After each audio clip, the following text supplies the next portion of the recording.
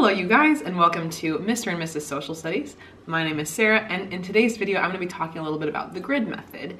The grid method is a method for mastery learning and gives your students the flexibility to work more at their own pace.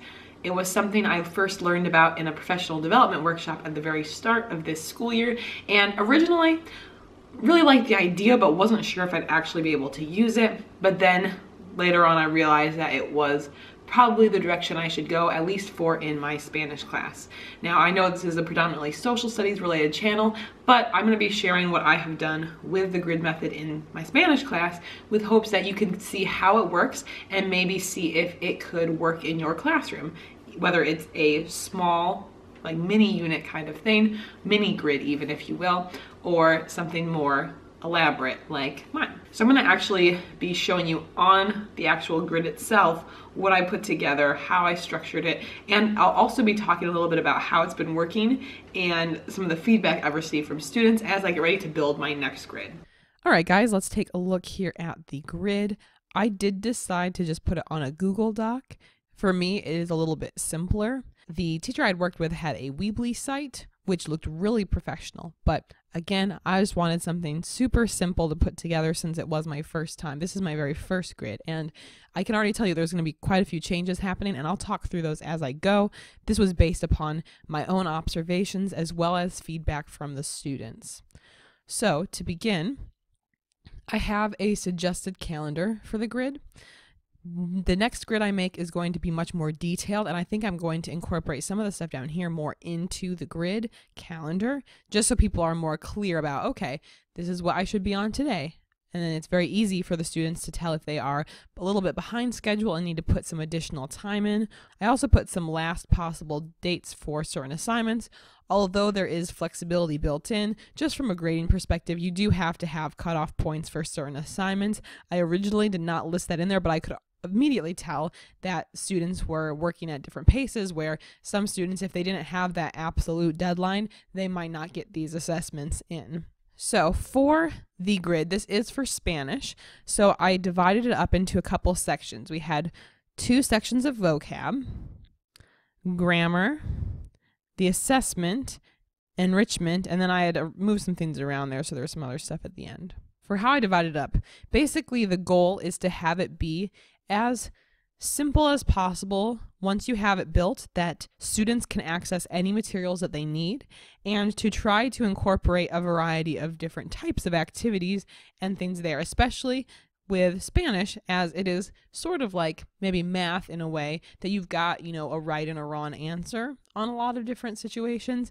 You can have more of those like automatic grading methods there to to show them immediate feedback on how they did. For social studies, that element would be a little bit more difficult because unless it's like vocab matching or something like that, maybe you would have a tougher time because it's more so different types of thinking there's not always one right answer in how we interpret something. I think that makes it a little bit more challenging, but I don't think it's impossible to do a grid for social studies. Anyway, how I set it up, I used a lot of different links on the page to link out to other activities, and I did still mix in a couple paper copies of things the first part here, if a student was completing this, they'd be in vocab one first. So if they wanted, they could go take a look at this video here. So then this will just go to, um, I have a teaching related channel for the students just based on exact materials that we use um, during class. So this one is a video related to the vocab words.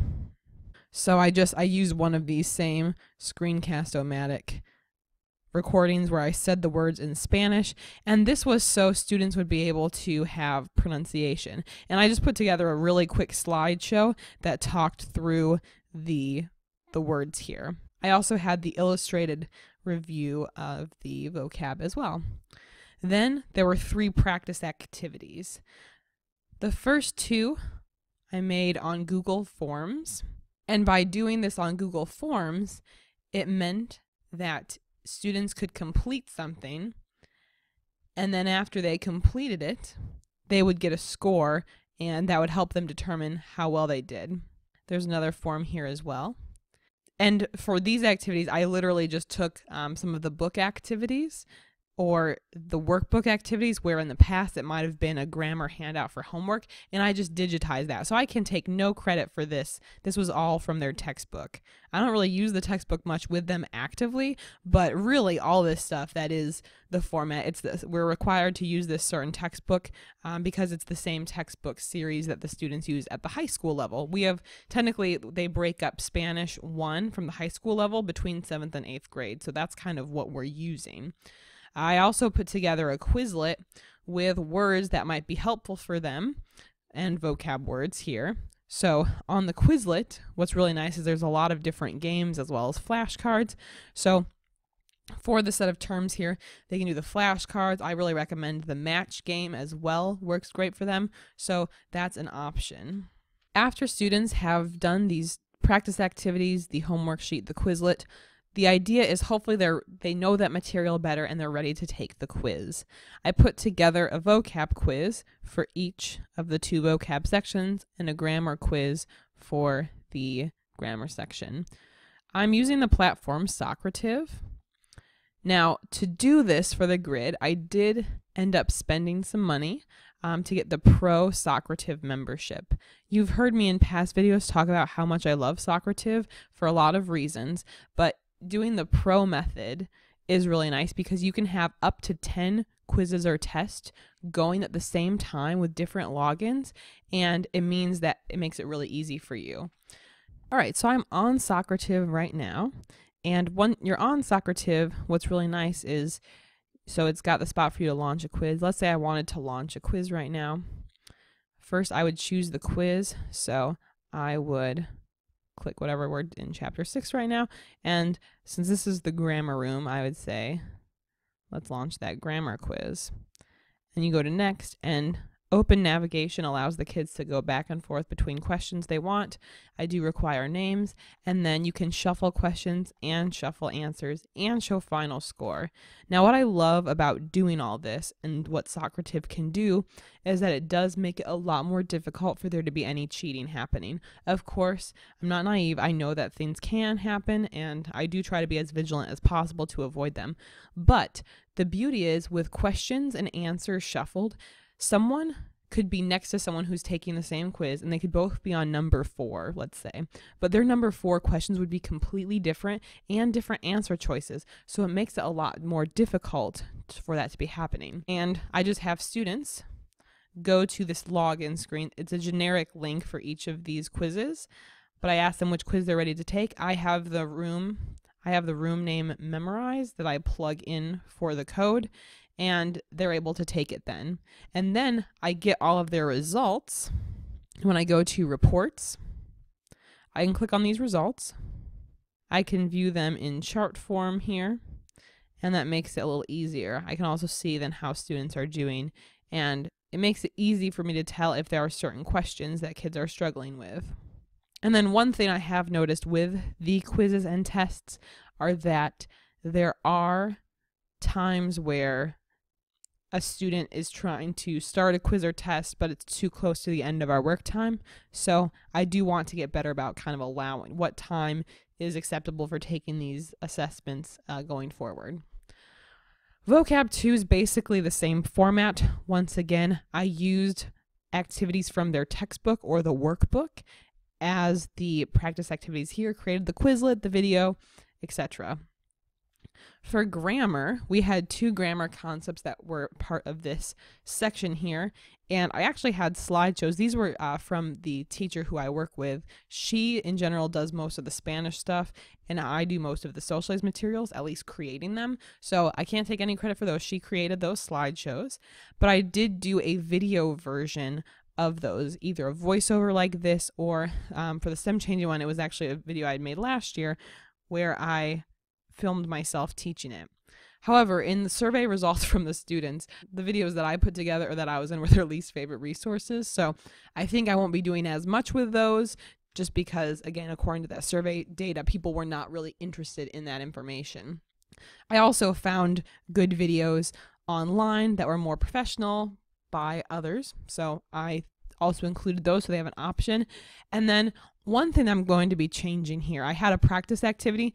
These were from other websites. So I was using studyspanish.com, which has a lot of great stuff to help students practice. And then I found other online practice activities. I think going forward, I need to have more practice activities with grammar concepts, especially because that's not as straightforward as, you know, this means this. So that's something I want to do better with, as well as maybe I'll incorporate like a paper copy of a worksheet in there too, just because I know some students do still prefer to be doing things more paper pencil based. So I think I'd have more of that. But then once again, afterwards, there was a grammar quiz for when they were ready. I've gotten through the other three levels. There's a test. This is also on Socrative.